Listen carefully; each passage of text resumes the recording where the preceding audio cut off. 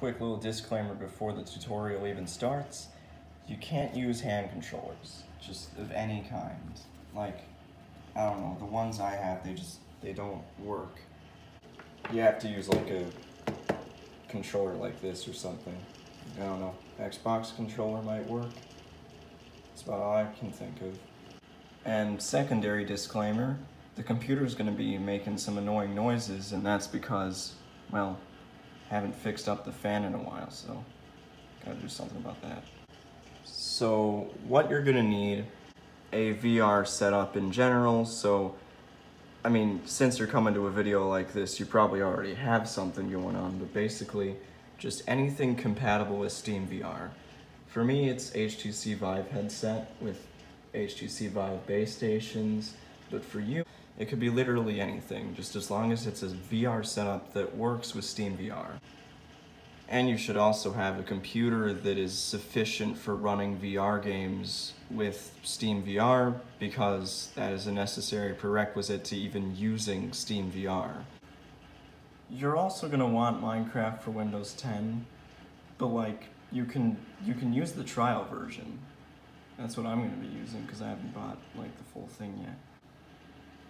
Now, literally, all you want to do for step one is go to new, make a shortcut, and type in Minecraft colon slash slash mode slash question mark open xr equals true.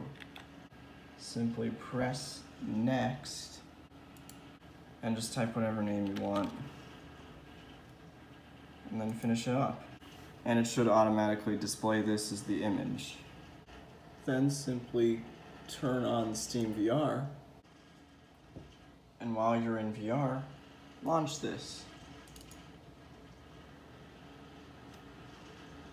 And it'll load in VR. So to give a demonstration, this is the headset. It's already turning on from the game. You might notice it's a white screen because it's going through the loading screen and now it's showing whatever's showing up here.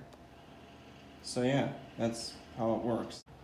And here's the title screen menu, which, by the way, um, it takes usually a little while for that to load, but it always loads eventually. Either that it, or it crashes, but it's so quick and easy to load that that doesn't really end up mattering. Also, yet again, you can't use the hand controllers with it. I've tried. No, you, you have to use the Xbox controller, but that works just fine at least. At least you don't have to sit down and use the keyboard. Now, if you're wondering, oh my god, how did he figure that all out? I used the official help.minecraft.net site and I looked Minecraft in virtual reality and they, they, they had this. If you're trying to launch it from a VR headset that doesn't have it in its game library, then just do this. That was how I figured it out. Now, another way to do this is to just use Revive, but that takes longer, and there are already a lot of tutorials on that, though. Here's my quick little tutorial on that.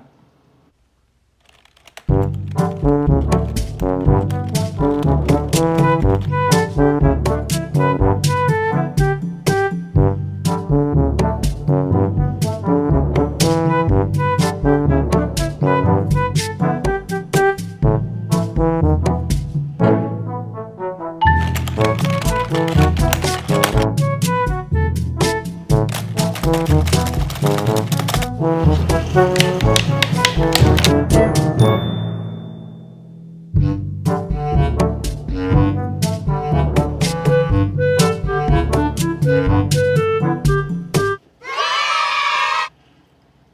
yeah, once you've done that, just turn on SteamVR, go to the SteamVR dashboard, and click the revive icon and click Minecraft. Go through the launcher and then play the game. Now, if you want a more legitimate Revive tutorial, look up Revive tutorial, like how to use Revive. And no, I've tried, you still can't use the hand controllers with Revive. But yeah, anyways, that, that's how you do that. Goodbye.